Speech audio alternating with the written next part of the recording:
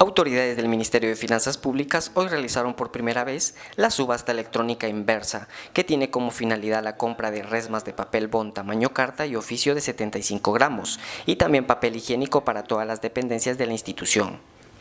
El viceministro de Finanzas Públicas, Leonel López, indicó que la modalidad de la subasta electrónica inversa tiene como principal objetivo optimizar la oferta y demanda de las compras públicas y la transparencia. Este proceso de desarrollo tiene básicamente tres etapas.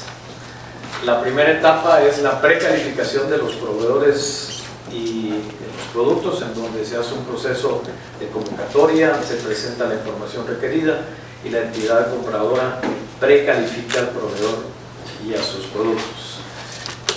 La segunda parte es la subasta de la inversa como tal, en donde el INE proporciona los precios de referencia, que en este caso se cumplió bajo los plazos que se habían establecido, se suben la convocatoria y las bases a compras, eh, se habilita a los proveedores y se realiza lo que vamos a presenciar el día de hoy, la puja. La subasta electrónica inversa fue publicada en el portal de Guatecompras bajo el número 5290-163 y se realizó en el interior del edificio de finanzas públicas en el transcurso de una hora, bajo el monto de referencia de 225.469.52, en el que participaron seis proveedores.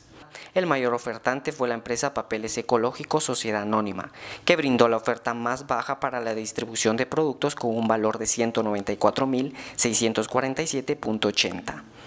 La formalización y recepción de los productos se llevará a cabo en un mes a partir de hoy, ya que debe suscribirse el contrato y emisión de la resolución de aprobación del mismo. Para mí es un evento muy valioso y muy importante, demuestra nuestro compromiso por ir desarrollando no solo los procesos, sino las herramientas para que las entidades puedan comprar mejor y de forma más efectiva, transparente y más rápida. Reportó para DCATV Gustavo García.